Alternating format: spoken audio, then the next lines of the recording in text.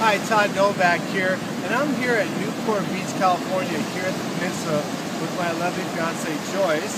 It's actually holding the camera, so she can't get a picture of her right now.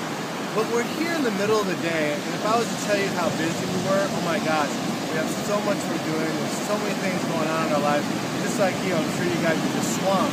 But how do you take time out of the middle of your day or mid-morning to go out and walk on the beach?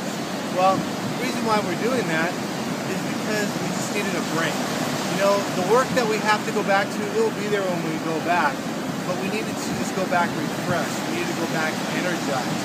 So maybe you can't walk on the beach like we can today. Maybe you can just walk out of your office for five or ten minutes and just do nothing and just relax or maybe listen to some music on your phone or, whatever case is.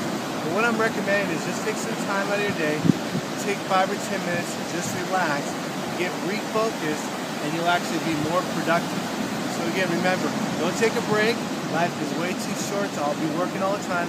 You'll actually be more productive. You'll have more fun. Remember, this is Todd Novak. You're a champion. You're a winner, and you're God's best. Thank you.